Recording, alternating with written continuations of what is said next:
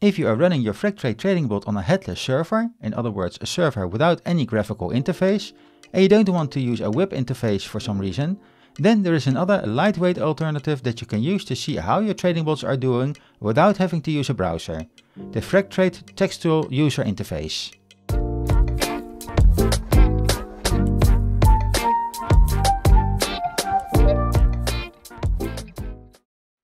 The Freqtrade Textual User Interface, short uh, the FTUI, is developed by the same people who also made significant contributions to the original Freqtrade trading bot.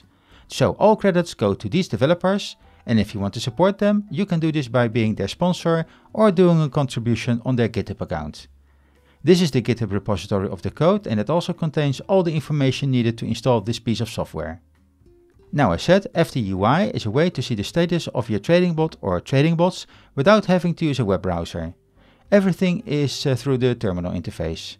It has a somewhat Spartan look, but this is also intentionally done.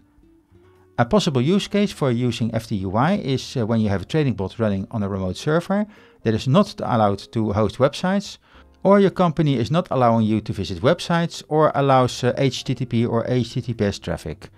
However, if there is an open port that you can use, then you might be able to create an SSH server on that port and then can access the server over that port to uh, then open FTUI.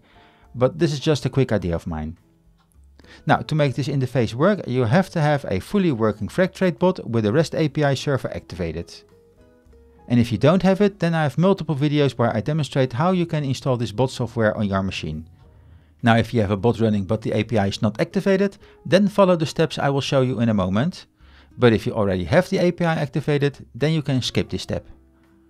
So the procedure is not difficult to uh, install an API service. You only have to choose a good username and a hard to guess password here because uh, after enabling this API on your bot, it can be accessed and controlled over the internet. And to enable the REST API, I will follow the instructions that are on the Freqtrade site. This whole section has to be present in your Freqtrade configuration. And in my case, it's the config.json, and my complete API section looks like this. After you have altered your configuration file with these settings, save the file and restart your bot. And if everything goes well, you will see in the logs that the REST API service is started. Now to check if the API is running, we can do a ping to the server with our browser. But if you are not able to do this, you can also use curl on the terminal interface to see the pong response. And after this step has successfully done, let's install the FTUI.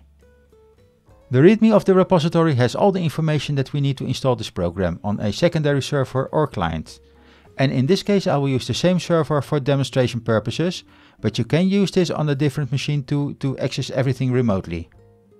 And the installation is super simple. First clone the repository to a local directory like this, and then enter that directory and make a Python virtual environment, like I do here.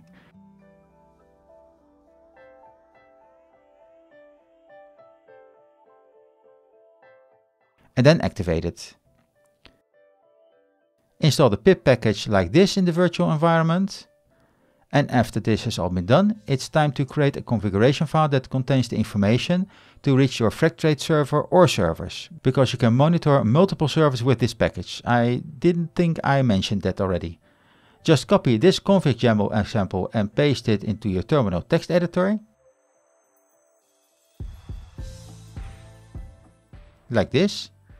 And after that, it's time to alter the settings like the bot name, username, password, IP and port number. In this case, I also have added my live trading server and my dry run server. Now save the file and then use the command to start FTUI.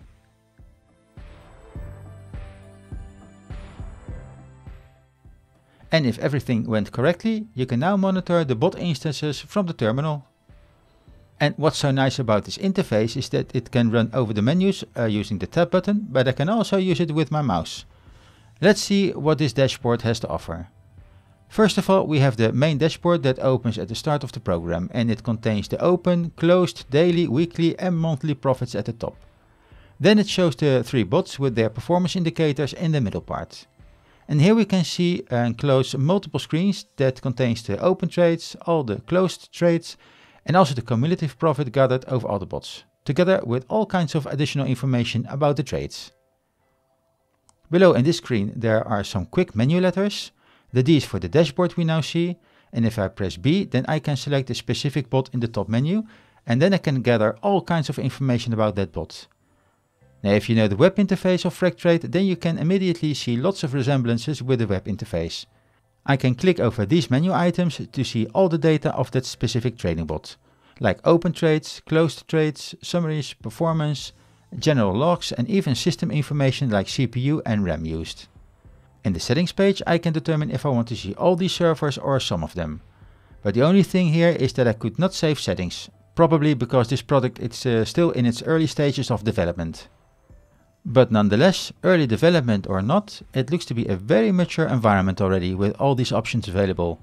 I really, really like it and I hope that the developers will continue to stick effort in this product because it fills my need for a lightweight solution to monitor and track the trades on my trading bots. For example, now I can use an old Raspberry Pi and stick a small LCD to it uh, to monitor my bots without having to keep a PC running all the time, which saves energy and money and lowers my carbon footprint. Now, at the end of this video, I hope that you are also very enthusiastic about this additional feature from the Freqtrade developers and will use this software too. And now we are at the end of this video. Please click the like button and subscribe if you haven't already done so, and I will see you in the next video. Goodbye!